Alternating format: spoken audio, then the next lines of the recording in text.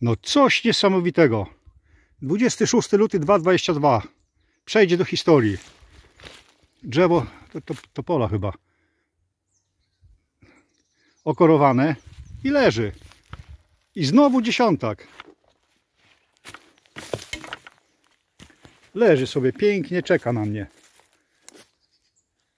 No proszę.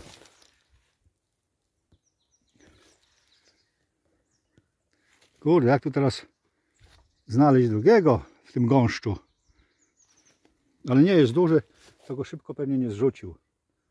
No super.